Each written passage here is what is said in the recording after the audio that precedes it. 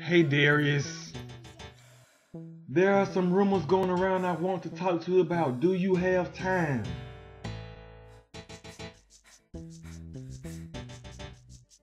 Of course I do. What's this rumor?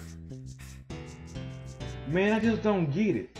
I've given this team all, yet I find out that I was on a trading block.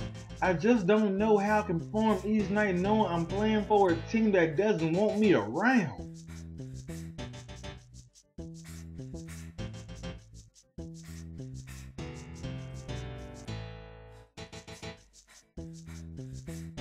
You can't believe everything that comes out of the press.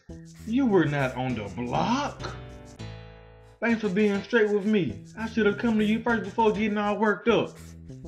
Recent trade discussions you had with another team ended up in the hands of the press. What do you say about it?